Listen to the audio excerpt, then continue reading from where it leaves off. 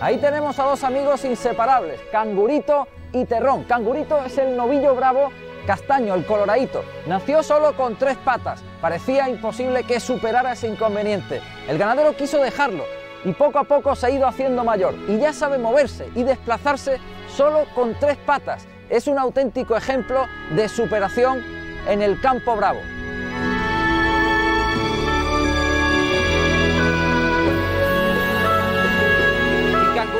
Vive junto a este otro becerro. Terrón es blanco como un terrón de azúcar, es su amigo, le acompaña siempre. Y así Cangurito está mucho más relajado, más tranquilo. Fijaos el esfuerzo que tiene que hacer para subir las cuestas. Sin embargo, el ganadero Joaquín Murteira lo cuida con mimo para que salga adelante. Terrón nunca le abandona.